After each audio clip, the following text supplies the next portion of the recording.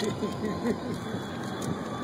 we have, let's see, three, four, five, five hundred dollars worth of food, and two kids squished inside of it. Dad, I can't move my leg.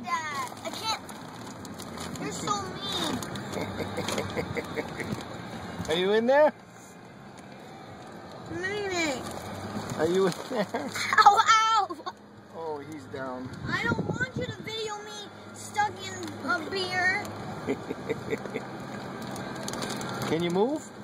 Dad, get my me. Get my foot out of here.